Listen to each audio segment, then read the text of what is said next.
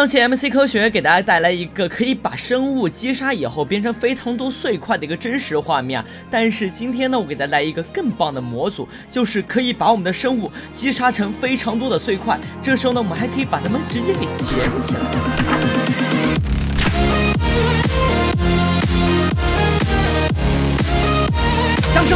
热爱生活，在小我是梦轩，欢迎梦轩的创意学堂。那本期创意学堂呢，是给大家我的世界全新的生物物理引擎模组啊。这个模组达到什么境界呢？就相当于啊，咱们普通的击杀生物是直接让我们的生物凭空消失了，但是加上这个物理引擎模组以后，让整个世界的生物击杀动画变得更加的真实，更加的完善。好的，那本期兵呢点赞超过五千，立马更新下一期。那这样的全新生物物物理引擎有哪样的好玩之处呢？跟着我一起来看吧。现在我们先拿我们眼前的小羊来做一个物理实验啊。我们在击杀小羊以后，小羊的整个身子被分为四分五裂了，不管是它的四肢还是躯干，都分为单独的个体了，而且它们都有一定的碰撞体积。我们可以用我们的身子呢去撞击它，它都是会直接被我们撞击开来的。而且我们可以在空手的情况下去把小羊的任意的一个四肢躯干部位给进行个捡起，比如它的头，我们是可以直接捡起来的。而且这样的头呢也是可以直接吃的，或者是可以摆在家里进行一个装饰摆看。这里呢我还想试一下，居然这样的一个羊头可以捡起来，可以直接生吃的话，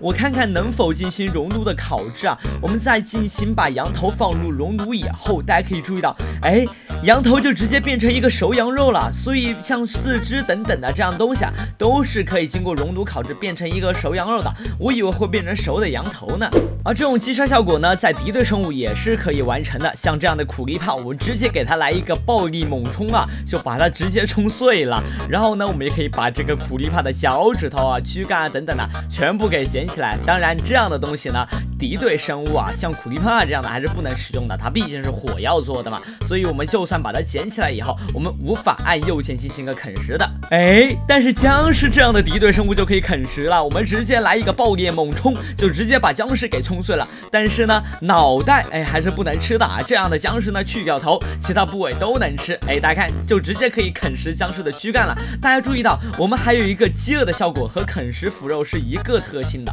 后来我才发现，原来僵尸击杀动画不仅仅是我刚刚把它冲碎成很多块那一种啊，原来它在阳光底下受到阳光的灼烧，是会直接变成粉末消失的。它有点像那个吸血鬼啊，碰到阳光变成粉末消失殆尽。除了像刚刚击杀苦力怕那样的爆裂猛击啊，把他们的身子冲到几米开外这样棒的物理引擎击杀动画以外，还有一个方法，就是把生物放在我们的头顶位置，直接给它往上冲击啊，直接一击毙命，把我们的小羊冲碎上天。这个铁傀儡的击杀动画就更有意思了。我们在攻击铁傀儡的时候，大家可以注意到整个铁傀儡的身子啊，慢慢的开始有点变形的样子。而且在我们击杀它的最后时刻，铁傀儡直接先是手扶地，然后瘫倒在地上去啊！哇，这个动画完美了。更有意思的是，我们还可以把这个铁傀儡直接捡起来，捡起来干嘛呢？把它捡起来放入我们的工作台里面，它是可以直接分成九个铁钉的。同样拥有独立动画的还有掠夺兽啊，可能这样的一个庞然大物一般的生物啊，都有一个独立的击杀动画。我们在击杀掠夺兽以后，它也是直接低着头往地上一倒啊，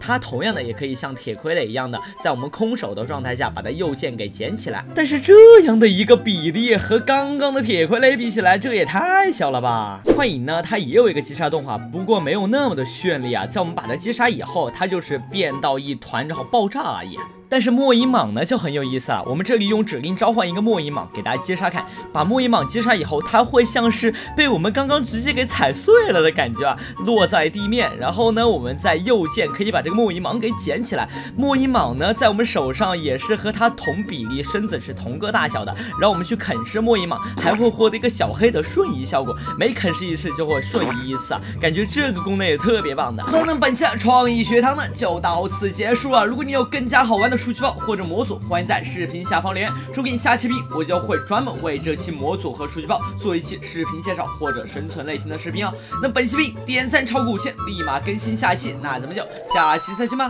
拜拜。